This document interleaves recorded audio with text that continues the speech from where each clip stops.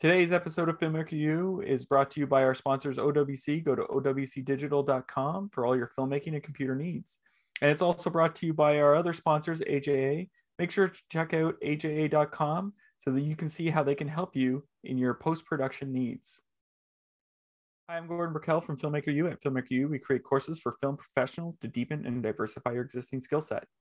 You can learn more at filmmakeru.com and, of course, follow us on Twitter at filmmaker underscore you.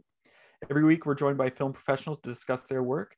And this week, I'm joined by mass producers JP Ouellette and uh, Dylan Matlock. Welcome to the show, guys. Hi, thank you so much. Now, I guess my first question for you guys is how did the movie Mass, you know, come to you? Like, how did it is, and it is a heavy film just for anyone watching. it's it's a heavy subject matter, but how did that uh, get brought to you guys? How did you discover it? Um, we worked with Fran Kranz, the writer director, about five years ago. He produced a small independent film and starred in it.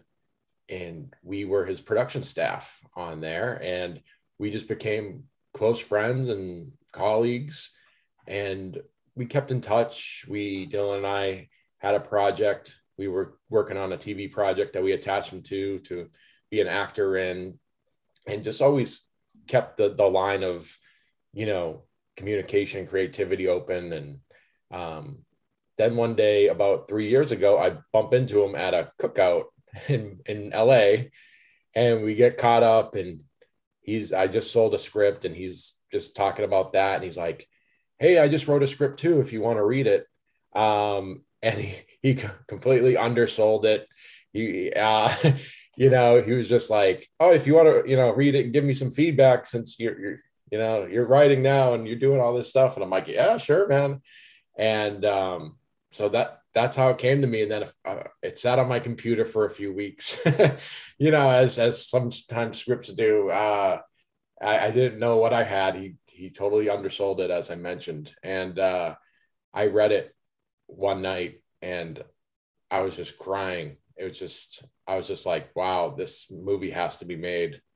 And then I, I called him when I was done at like 1.30 in the morning. well, I think I woke him up uh, and I was like, hey, I just read your script.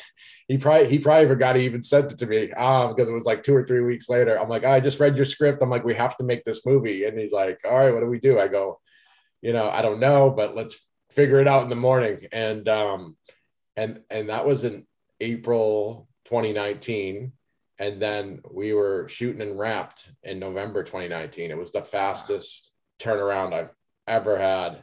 Lucky um, too, because COVID was just around the corner. yeah, we had no clue.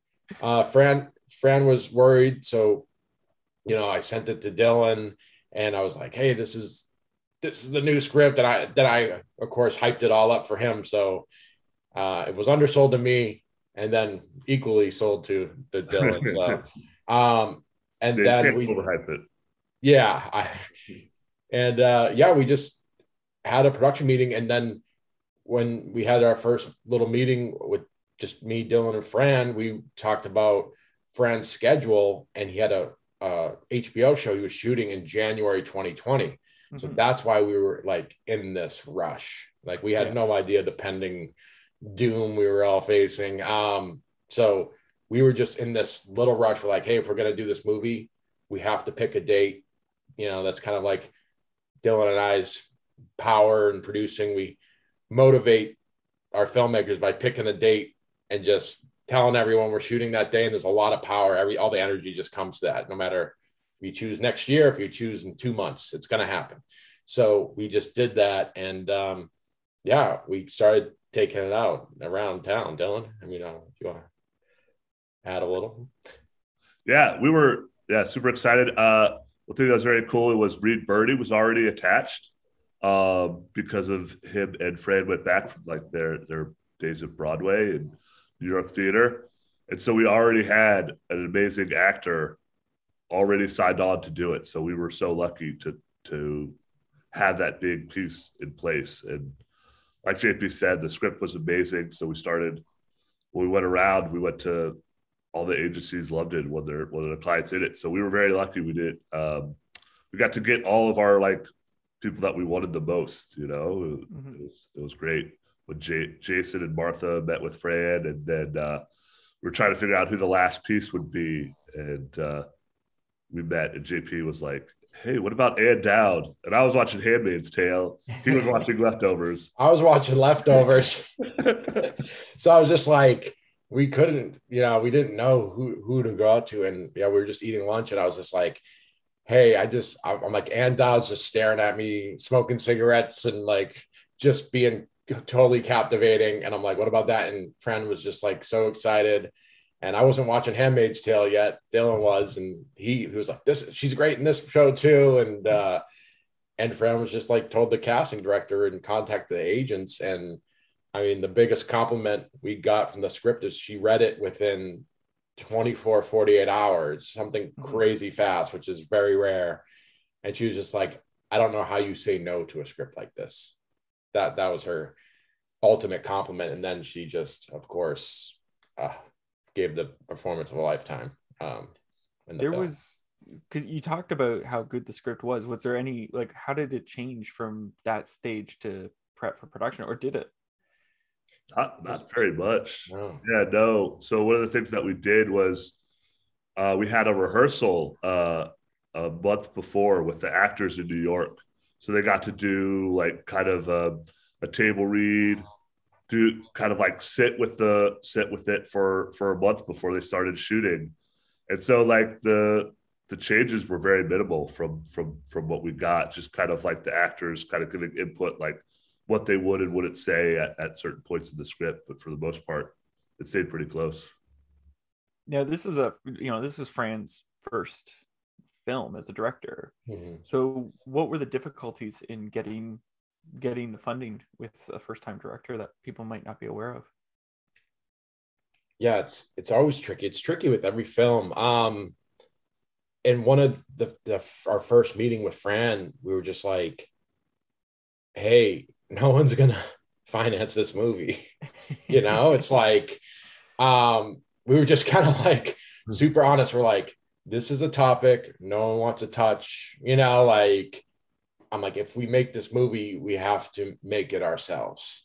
Um, and and so to Fran's credit, I mean, there's a Forbes magazine breakdown article about what we did. If uh, you know the the filmmaker you crowd wants to to read in depth, but we essentially started going around town. Fran put in a little of his personal savings, and he mm-hmm. went around and just said, "Hey, we're partially financed. We're shooting on this day." and then we hired a casting director to start taking it out to the major agencies and um, yeah we just it just started motivating people and it was all friends family business contacts that were like okay you guys are doing this special little movie we're in for x amount of dollars this little amount and it just kept adding up and we just pulled it all together just from people we knew. We didn't want to crowd fund. We didn't have energy or time for that, you know, because that's a that's a full time job. Yeah, say, you know, so and you got to like, get perks, which is kind of weird to do for a movie called yeah. So you can't really do that. It's uh, you know, so we just knew we had a a good little movie, and we just went around. We just went around town like we were making it with with or without people. So we are just like, hey, we're partially financed. We're shooting on this day if you want to join, cool. If not, cool. And they're just like, okay, I, you know, once they read the script or once they heard about the cast, um, and even Jason Isaacs, uh, he re- read the script uh, a, a, few years, maybe a few months prior uh, to signing on because he just met Fran and just read the script and he was just like, oh, this is the best script but it'll never get made. so even, you know, even Jason, that's his uh his his famous line. He's like, "Oh, it's so good, but it'll never get made." And um, because he just, you know, he, he knows he knows the business. So yeah. we had to kind of just you know pull up the bootstraps and and do it ourselves and finance with our our friends and family and a lot of contacts and business contacts Fran had. We were just like, hey, we're partially financed. We got a casting director and these great actors reading and interested are you joining? You know, so it's just kind of uh, that was the nature of it. So yeah. it was it was a fun battle. Well, and it was a tight shooting schedule, 14 days, which mm-hmm. is really tight. Like usually people are like 20 days is really tight. You guys are like, let's cut six out of that. How did you I mean, like I know it, a lot of it takes place in the one room. There's like a few exterior Mhm. shots or ex- exterior moments. How did you guys tackle getting that all done in 14 days? Yeah, I think I think a big part about independent filmmaking is is setting yourself up to win, and I think we we did that with the script, and we also gave ourselves the the time really to to prep. You know, like JP and I were were out in Idaho weeks in advance, uh, just just prepping the movie, making sure that it was all ready. We had our actors do rehearsals, which like big movies do all the time, but for for little indies, it's always unheard of. You just get like the actor on the day, and you're doing a doing a fitting like before you rush them onto set, and they've barely talked to the director. You know, a lot of times. But Mhm. this, but for this, we're like, no, we have to we have to set ourselves up to win. We did the rehearsals a month in advance. We had you know a very tight script, and uh, we found a perfect location that was like accommodated us so well. And then, you know, we brought everybody into Idaho and it became very much like a summer camp almost, and just like how close everyone was, uh, and just how well we were able to to work together. And we actually did. You wouldn't believe it, but we did shorter days than most. We did All nine hour, ten hour days, but Wow. everyone stayed fresh. the actors got to go back uh back to the hotel, like have dinner and then like rehearse to talk about the next day's work, you know. So everyone was just pretty much ready to go the second they got on set. Wow. Now, so what would you say then is um, was one of the tougher things to do as a producer for Mass?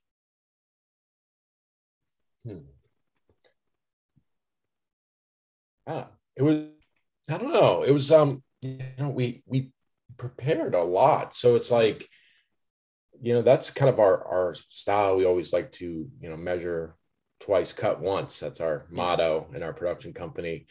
And um so we were extremely prepared you know, even going up to day 1. Um part of it was uh Tony Bashara, our associate producer and scheduling master. He ran the set as like, you know, a first AD and associate producer. He helped us all with that. He's kind of a genius with scheduling. And we had, I guess the hardest part to answer your question was, you know, I think did we only have Jason for eight days or something? Was he in between movies? Dylan? Yeah, we like had to fly, yeah, we had to fly out. Yeah, there were some short days for sure. Yeah. So so we you know on a 14 day shoot we have one of our leads only for eight days and uh, or 10 days and then we did eight days in the room Yeah. and you know we just had to to block shoot the bookends of the movie with that Mhm. cast. So the beginning of the movie and the very end of the movie is actually the first day of shooting if you can believe it. Uh, after you watch the movie you're like wow you did that on the very first day. Um yeah and then so that's the first couple days and then we got jason and then did all his coverage of them driving and showing up at the church and getting into the room. And then once we were in the room it was about 8 to 12 pages a day for i think 8 days straight if, Yeah. if i remember correctly. And it was then we were just like cooking with gas. Once we got into the room um it, it was it was good to go but we were just so prepared that we were again like dylan said we were doing like eight hour days for the most part because one we couldn't afford the overtime. Everyone was on payroll and we had to count every minute. Um but then the other was we had we were in idaho in november and the, the sun goes down at about 5 p.m so and we are shooting out windows live. We're live on location. So we'd lose the sun. And um so we just had to we just had to know what we were doing every minute of the day Yeah. uh, because we only had limited minutes. So it was just yeah it was um it wasn't easy in any sense but it was you know we prepared and we were able to you know execute so it was yeah Yeah. So what do you what do you guys when you're looking for projects, you know, what is it that excites you about the scripts? What is it that you you look for in scripts? Because you have a bunch in the works right now, Mhm. uh, Yeah. based on your IMDb. Yeah. Well, one of the first things is uh is you know the story, of course. Uh JP and I met working uh, like a long time ago as PAs run around, but uh, I think our partnership really started when we started writing together and talking story, and like that kind of excites us the most. So we have kind of a thing where it's like both of us have to read it and both be like super excited, and then if we're talking for like hours about the script with each other, we're like, oh, that's the experience people are going to have. They're going to be talking for hours after the movie, you know. So I think that's uh, a big part of it. And I think also, like I said, setting yourself up to win. You know, like does it work on a low budget? If we're if we have to shoot this movie low budget, like what are the little things that are going to make it successful?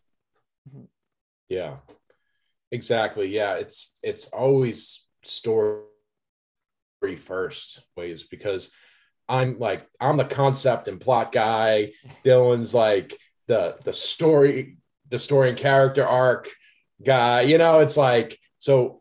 You know, we have our different strengths, and when we combine and we find a project and we both gravitate to it, we also call ourselves the the first audience members uh, for for our movies. You know, so it's like we find a script, and if we both like it, we go, okay. It's not a it's not a 50 50 split in the audience it's already 100 we already got a script that we both love that's 100% you know so it's great to have this partnership you bounce off and have different strengths and we go hey i'm like i can see the movie poster i can see the concept and the plot and hit all the beats and he's like oh the characters go through all this and i'm like all right cool.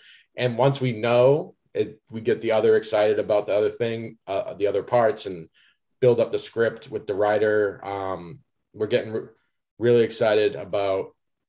Um, I mean, we literally have a meeting today about an amazing, amazing concept and script, and it's just it's like next level. Um, and then we just did Little Brother with like J.K. Simmons. Um, he's featured in it, and that's a powerful movie, powerful story with the director, and it was just able to like I don't know. We were just attracted to the story and to the filmmakers, and like that's that's part of it. You know, it's like you you have to sell us because we're the ones that are making the movie and selling other people. You know, so it's like, um, you know. So don't undersell like he did. yeah, don't undersell like Brandon. He was just like, oh, oh, cool, man. You sold the script. Read my script. I'm like, all right, cool. And I didn't, you know, I didn't even get to it for a few weeks. Um, but yeah, so you want to, you know, we do, we just want to be as passionate as our filmmakers are.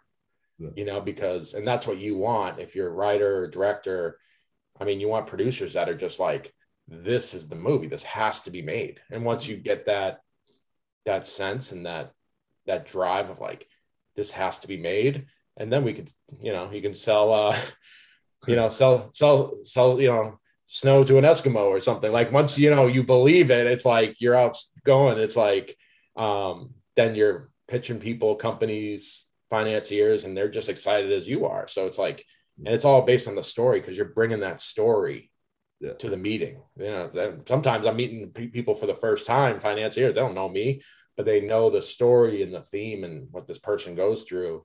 Um, and they see the passion of like how Dylan and I want to make this movie. And that's usually, you know, half half the battle. So it's it's a it's a wild process. Yeah. Now, what you know, you talked about the importance of the story and having a good story was, but in editing in post production, the story's the last rewrite. What, uh, what were the changes that might have been made to mass or had to be made to mass to bring it to screen? One thing about mass is there was so much footage and there was like so many like it's like who's we were lucky to have such a such a great uh, editor Yang Hua and uh, Fran. They were able to work together. They were able to work together. Luckily, before the pandemic to start, so we got a lot of it cut. We had like a little.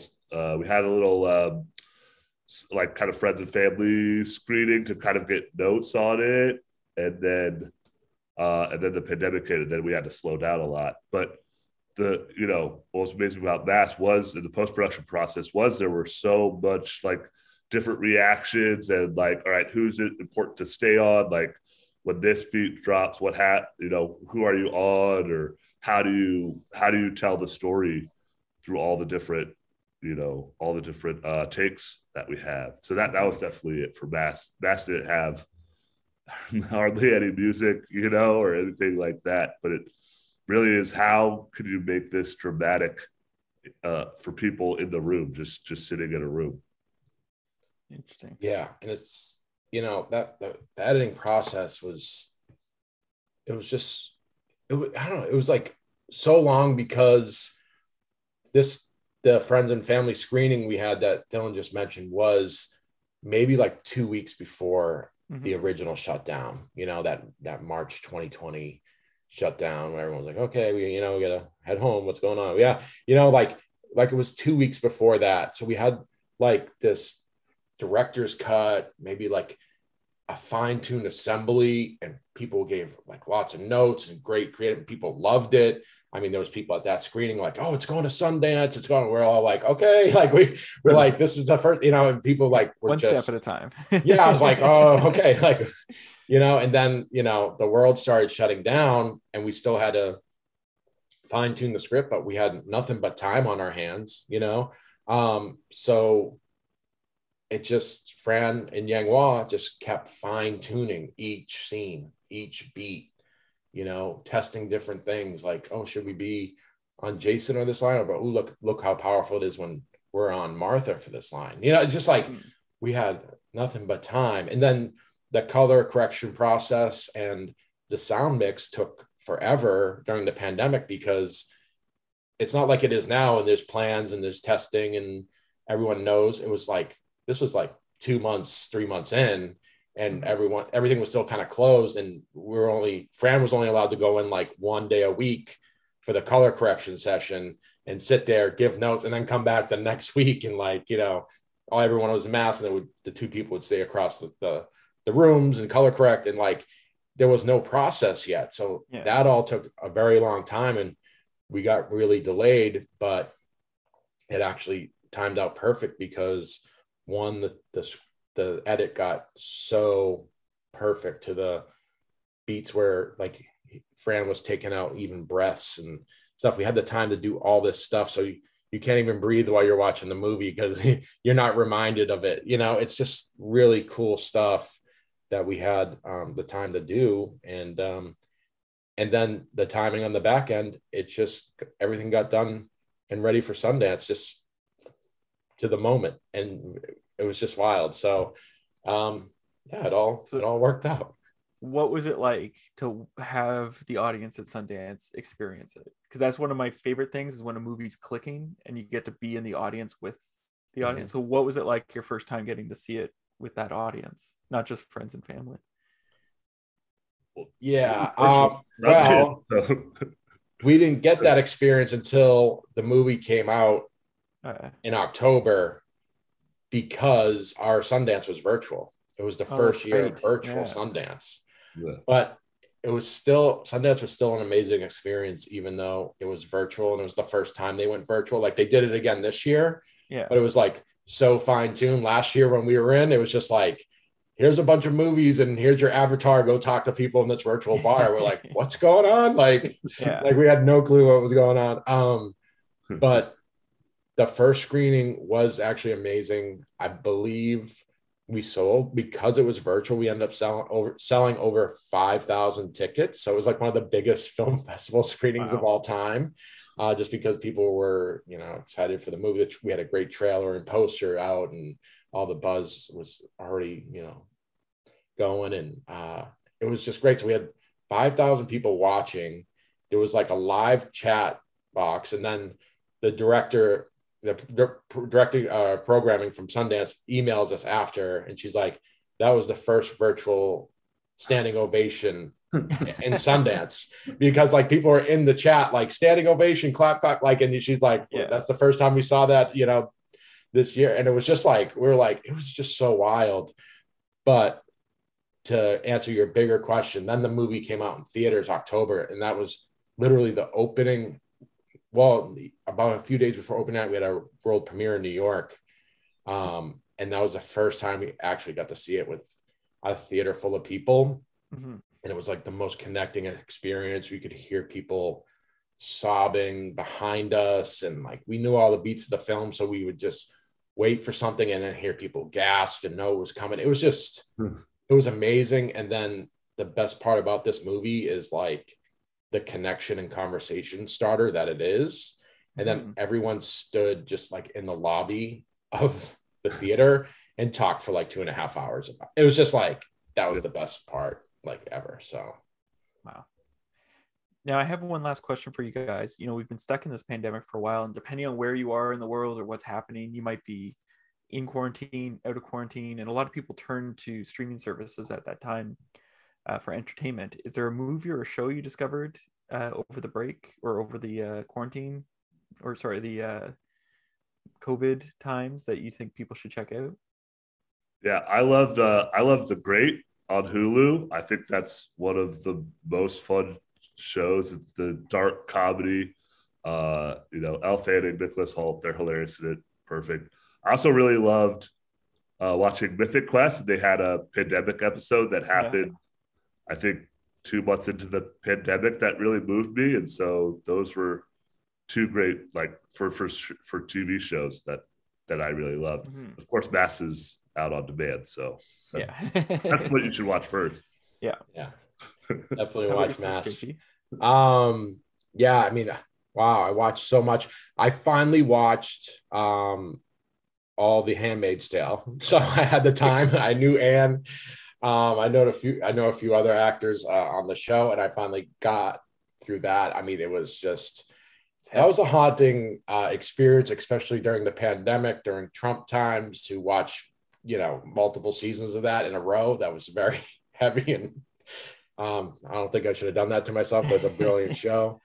Have you- Um, did you read the books before? Or no, I, I haven't. I want to go back and and and read the book. It'll be Um, disorienting because I read the books before and I was like, why is this here? Because they've restructured Ooh, everything okay. to work for television. Yeah. So you're just it, it's kind of disorienting at first because you're like, how is this already happening? And then you're like, oh, okay, that's why it's Gotcha. Got it's- So, um, but Reese. So I I did that. I did a. I mean, like every one of the pan, I did a, a hundred shows. I think. Mhm. Um, and um, but recently, I can't tell people enough about Yellowjackets on Showtime. Yeah.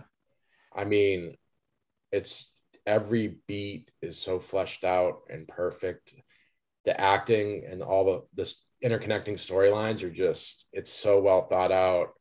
Uh, Karyn Kusama is the director of the pilot and a couple episodes. She's br- brilliant. She's the one of the best directors in the game. Um, and everything's just I was just I was a little late to that. My friend, I was literally on a hike with a friend like two Yeah. weeks ago, and she was like, "You're not. You have to watch." I was like, "All right, finally, I'll finally start it tonight." And I did like three a night, um, and just cranked through it. It's just so good. The con, it's so high concept, so creepy. I yeah. love it.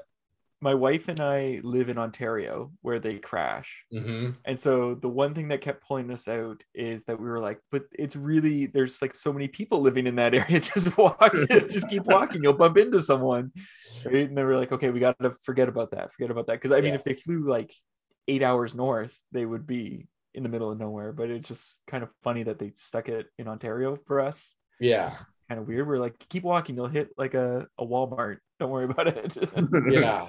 but Ontario for like the American audience is like, you know, it's just ice. You know, like we don't even like we don't even know you guys are up there. yeah. Oh no, just kidding. But I have a theory. I don't want to get into too spoiler territory, right. but I have a theory of the area they crashed in. well, they So- like it could be like Lost, right? Where yeah. whole- So, and I have that vibes. Um, it's just it's a perfect it's a perfect show. It's like Yeah.